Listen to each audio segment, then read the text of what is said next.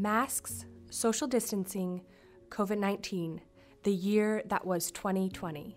The patients and families taking all of the extra precautions to keep themselves and their kiddos safe, the healthcare workers, nurses, doctors, putting themselves on the front line and sacrificing their own health for those in their care.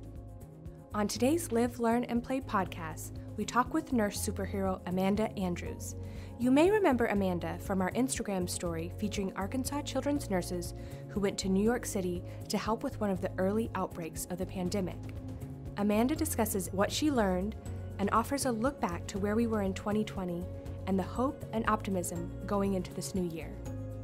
Now, here's Amanda. On this episode of the Live, Learn, and Play podcast, I'm joined by Amanda Andrews. She is a special staffing nurse here at Arkansas Children's. And I actually had the pleasure of interviewing Amanda when she, well, we'll find out more about her story, but we had a unique meeting um, in April of this year. And so this is my first time meeting Amanda in person.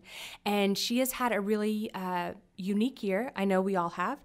And so we wanted to get her thoughts, um, just being in the medical profession and some of the opportunities she has had this year to kind of reflect on 2020. So, Amanda, welcome to the podcast. Thank you for having me. So, we are going to go back to December 31st, 2019. And I know, like so many people, we had a lot of expectations for the year. So, what were some of your goals looking back at uh, New Year's Eve last year? What were some of your goals and thoughts for the year ahead? I think I was actually working on New Year's Eve last year. I just picked up an extra shift. So, um, you know, whenever I got home, I I don't know if my husband and I necessarily made like any big goals. Um, I kind of wanted to um, just kind of move forward in my, nurse, my nursing career some. Um, we were planning on remodeling a house, and um, that's all since been postponed for 2021 since this year's been so crazy. Um, we show horses actually, so we had some big plans for going to horse shows, and my son was supposed to start really showing horses, which of course got postponed due to COVID. So, when did you realize 2020 was going to be different than any other year? So, um, at the beginning of 2020, you know, we were hearing about um, this virus over in China that, you know, maybe was a little bit more different than what they had seen, maybe a little bit more serious. And then it really escalated pretty quickly within a couple of weeks. And then you were hearing about it, um, you know, in Washington State. We're in Arkansas, where it's, you know, so far away from Washington that we didn't really think it was going to happen here. And then all of a sudden, the word pandemic's being used, and we're in a full fledged pandemic.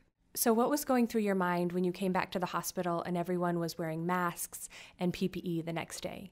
I feel like our hospital did, did a really good job of like making sure there was cohesion and um, not instilling fear into us.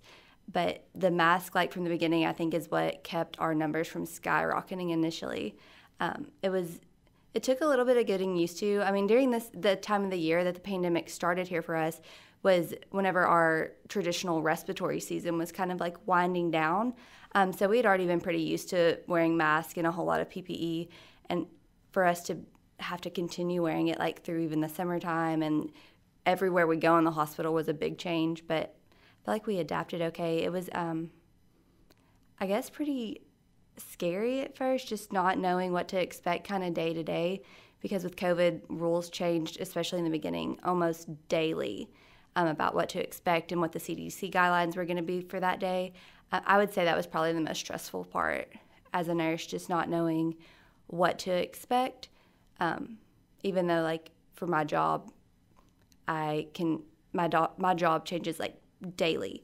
So, depending on where I'm at. So, I feel like I was pretty adaptable, but having to add even more adaptations to that was even more difficult. So how were the leaders and your team communicating through this through this time? Were you meeting almost daily or or what was communication like? So Tammy Diamond Wells is our director over special staffing team. Um, and then Leslie Easley is our acting PCM clinical educator, and um, she's actually a bedside nurse as well. So they did a really good job of I know Tammy and Leslie were meeting multiple times a day and Leslie was really great about sending out frequent emails or even texting us if we were at work and changes were needing to be made. Um, they were always extremely calm with presenting it. And Leslie, whenever she was able to, would come out to the units that we were on and make sure that we were coping okay with everything. Um, Tammy did a really great, great job about like checking in on our mental health during all of this. Um, I I feel like in the beginning we were getting updates almost as soon as like Tammy and Leslie knew what to knew the information to give us. And how was your team and the the people that you work with often? How was everyone reacting at this moment? You know, initially I think people were frustrated by just the frequent changes just because as soon as we got used to something, then it would change. And then pretty soon we realized like this is here to stay, so we just all kind of decided that it was going to be better to kind of I guess grin and bear it and we're all in this together. And that's kind of the mentality I've been seeing throughout the hospital even now. Like it's just here to stay and we're all in it together. So, take us through the timeline. You were um, adjusting to all the changes here, and then um, you got a call to care for patients outside of Arkansas. Take us through how that happened and what you did. Yeah, so um, whenever the pandemic first happened, we were canceling like all non essential surgeries. There were a couple of nurses on the resource team, which Mandy Jones, who is also a member of the special staffing team with me and one of my dearest friends, um, she actually went to New York with me, and we had been talking prior to getting the notification about how since we're slow here like maybe our resources would be better used somewhere else and so we talked to tammy about it and i didn't really think it was going to go anywhere and then um, all of a sudden we get this email saying if you want to put your name in a hat and it just so happened that mine and mandy's names were both drawn from the hat we didn't really know about the new york situation i had actually planned on going to louisiana to travel just because it was closer to home and you'd seen on New York how terrible it was and how terrifying it was. I honestly didn't know if I was going to be like mentally able to do that or leave my child at home for weeks and go so far away to take care of patients. Um, but then I was contacted by New York Presbyterian. We kind of talked about their situation there and what my situation would be if I went there. And it honestly just sounded like it was the place that we were needed most and where I needed to be. I was notified that I was one of the people selected to go on a Monday Tuesday, I talked to New York Presbyterian and said I needed to talk to my husband. Wednesday, I had had my flight stuff booked and I flew out at like I was something crazy. I was at the airport at like 3 a.m. on Friday morning. So everything happened really fast. Yeah. Once you put your name, I, I think that's amazing. You just said, yes, I'll go, not knowing 100% what um, what you were even going and heading heading into. Um, so you mentioned you um, have a son at home, so you're a mom. Um, you have a husband. What were the conversations like at home before you went? Oh, my husband was not super thrilled that I had wanted to do this, not because he was going to be left with Jackson. He's an amazing father, um, but more so like what was going to happen if I got sick while I was up there. My mom was actually pretty upset that I had chosen to go, but then she, um, we talked about it later, and she was like, you know, I'm actually really proud that you have chosen to do this, but if something were to happen to you while you're up there, just know that, you know, we're not going to be able to get to you. It's a pandemic. Um, so their their concerns more came out of a place of fear for my safety. Um, but I was just like, you know, this is what this is how you've raised me. You've instilled these values into me. So let me go and be useful where I'm needed most right now. Was there anything in particular that New York Presbyterian said to you that made you feel more comfortable about your decision? Um, yeah, so I did ask if there were adequate amounts of PPE.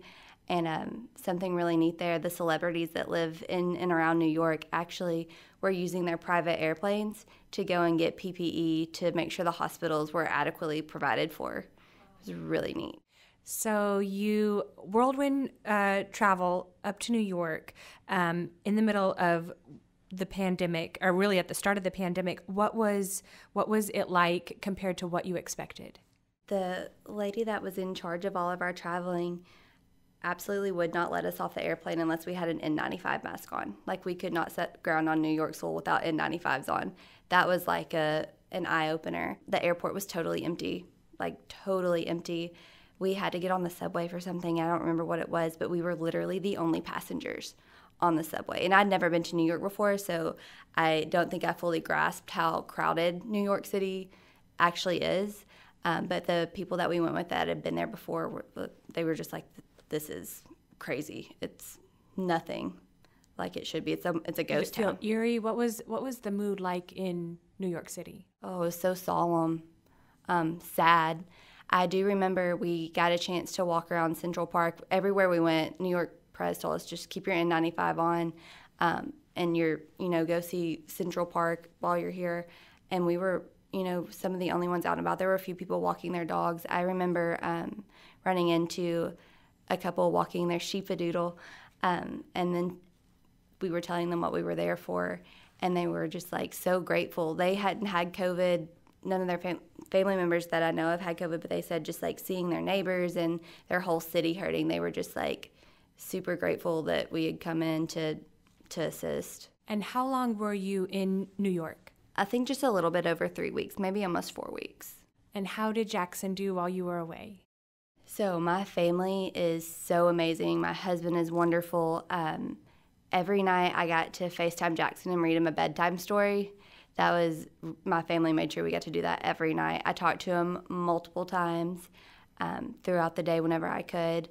We've just used FaceTime a whole lot. He um, he did really pretty well with it. Now, whenever I leave for work, he wants to know what hospital I'm going to and if I'm going to be at New York. I bet yes, because he you said he's four. Yes. Okay, so yeah, he thinks you you travel and leave ev- every Yeah. day when you leave. Um, when you came back uh, from New York, how did that change you as a nurse, as a mom, and as a person? in New York, I got to exercise some really good critical care skills. So I was burn ICU and PICU cross trained. Um, so here at Children's, we're the on- we have the only burn unit in the state, and we take care of infants to 100 years old.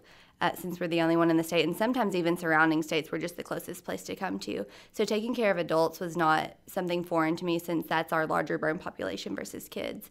And then in PICU, you know, we get the sickest of the sick kids here. So, um, and respiratory stuff is kind of our specialty because that's what kids tend to be the most sick with. So, um, I felt like I was pretty decently prepared whenever I went to New York, just having some adult experience, and then COVID. Whenever you get to the root of it, is a is a severe respiratory illness, and we work with some of the best doctors, in my opinion, in the world here. So, having seen all of that, um, I feel like I got to exercise some really, really good critical thinking skills as well, which you can never have enough of as a nurse, especially an ICU nurse. So your training here at a children's hospital actually uh, impacted your uh, how you cared for the patients in New York. Oh, absolutely. Um, so it was a really unique experience um, at the ho- at the particular hospital I was at. We were actually having to FaceTime with some attendings because we were trying to keep the the attendings well enough to be able to care for all of the sick people of New York. So um, there were fellows and residents there, and they were really open to some suggestions that we had. Um, as far as we we do our sedation a lot more differently in pediatrics than you do in the adult world.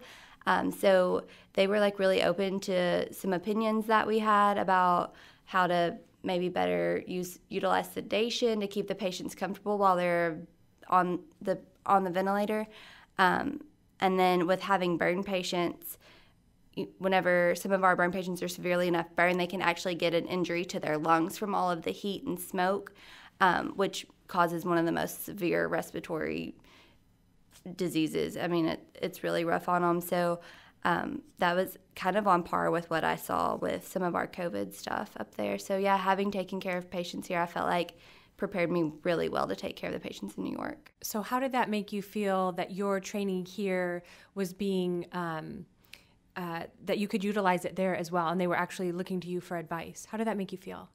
I don't know that they were necessarily looking to me for advice, but they they did take my opinion in, into consideration. Um, it made me feel so proud that the doctors and the staff and the nurses here um, had prepared me well enough that I felt confident enough even suggesting anything.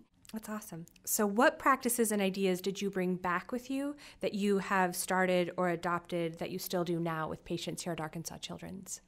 Oh, yeah. So going back to the critical thinking skills, like you just can't have enough of that. Taking care of those patients up there was like taking care of the most sick burn patient and the most sick PICU patients I've ever had combined and then paired because there literally just wasn't enough staff, even with um, all of us working to, all of us that were there, that they were still um, extremely st- short staffed just with the overload of COVID patients. Like our I remember um, being floated to one of their ICUs, and it was literally made out of um, like tarps that were zippered together, and it had plexiglass, like this, not even real plexiglass. It was very innovative, actually, um, ways to make rooms, and it had a big like filter in it to help filter out all of the particles. It, it was just crazy. It was the most interesting thing I've ever seen. So I'm actually on the special pathogens team here at Children's that was formed back whenever Ebola was a concern. Um, so whenever we're allowed to meet again, I think some of those rooms and how we um, were able to, or how they were able to quickly put into place, like they turned conference room. I was in a conference room um, where those zippered tarps were at um, that had been turned into patient rooms. So if we were ever in a situation like that, just some, you know, input having seen it firsthand on what works and what could have maybe been a little bit better. Going back to when you left New York, did you feel like you had done all you could do, or did you feel like there was still work left to be done? So we got there, um, you know, at at the end of March, um, and then we were there through the whole month of April. And by the time we left, I think maybe COVID was getting just maybe a little bit better. You know, I think as a nurse, you always feel like you can do more. That's just part of our nature. But it felt nice to hear the staff there say that because we were there, they were actually able to take a little bit of a break before we left. And there were still tons of travelers coming in. I mean, we were such a small portion of the people who came to New York to help. Um, I worked with people, I think I worked with a nurse from like Australia and one from Kenya, um, just people from all over the country, all over the world. It was, it was so neat. Looking back now at all of 2020, what do you wish people knew about this virus and the pandemic? So I hear people say a lot that it's just like the flu. Um, it is not just like the flu. Um, we had patients in New York that were, I mean, so so extremely sick. So they were they were clotting their blood so fast that they had to be put on a heparin on on a blood thinner, continuous infusion on heparin. Um, but even though they were on that, they were still forming really huge clots. And I remember um, getting report from nurses and then telling me that my patient had a pulmonary embolism, a blood clot in their lung. And usually that's enough for them to be put in the ICU alone. But it was mentioned as like an afterthought. Like that was the least of our concerns at that moment. And that was like for almost every single patient that was there. Wow. Now we're about to start a new year. Um, and this is why one of the reasons we wanted to just get your reflection on 2020. But um, what are some of your personal and professional goals for 2021? So I don't know that I want to necess- necessarily have a more goal oriented year, but more like a value oriented year. So, like, focus more on having compassion for myself and for others. Um, I think this year is, if anything, it should have taught us to be more forgiving, especially to ourselves. Um, it's been hard for everybody. Um, I think it's easier to forgive others around you and then you know your shortcomings. You hold yourself to such a high standard that maybe we all just need to take a deep breath and just be thankful that we've made it through 2020 in one piece. It's been a heck of a year for everybody. And since you do have an insider view of what is happening at the hospital maybe you could get a, give us an update. You mentioned that you were on a pathogen um, what was the exact name? The special pathogen team. Um, okay. um, so it's um, made up of several, there's so many nurses, wonderful nurses on there, and doctors. Um, before COVID, we were just meeting to discuss what we would do should we end up with a um, Ebola type patient, like how they would travel to us. We, our facility wouldn't be is not the designated one to care for Ebola patients, but more like hold over until we can get them to where they need to be. But if we did have a huge outbreak of something like that, or even, you know, COVID, um, what our plans would be, who would take care of them, and how, um, just to keep everybody the, as safe as possible. Well, those, um, Amanda, thank you. Those were all the questions I had prepared, but is there anything else um, that you would like to share with our listeners just looking back at the year and the year ahead? Um, just keep wearing your mask. Mask work as evidenced by our um, our population right now. Usually, we're full of kids with rhinoenteritis um, and other respiratory viruses. Right now, I think with all the cleaning and stuff in place and people social distancing like they're supposed to, hopefully we can keep the kids of Arkansas safe during this pandemic so we can focus on helping the COVID patients. Excellent. Well, Amanda, thank you for your time. Thank you for how you champion children here in Arkansas and then for caring for patients in New York. That is amazing. So we appreciate you and your time today. Thank you. Thank you.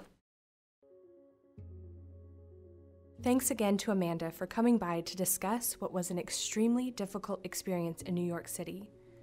How lucky are we to have people like Amanda at Arkansas Children's who are always putting their patients before themselves and sometimes even their own families? Thank you again to all of the healthcare workers across the country and the world who have sacrificed so much in order to care for everyone affected by this pandemic. I don't know about you, but I am ready to turn the calendar and begin a new year full of challenges, but most importantly, love and hope. Until then, stay safe, wear your mask, socially distance, and let's ring in 2021 healthy and safe. Happy New Year from Arkansas Children's.